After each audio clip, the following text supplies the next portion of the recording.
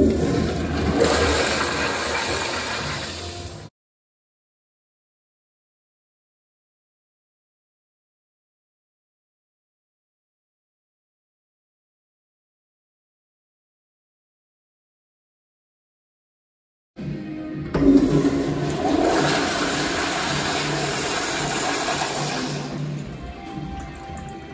only been here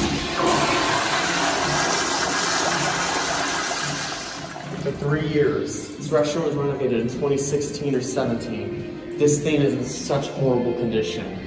There used to be 1987 Afwalls and Lynbrooks here, never replaced.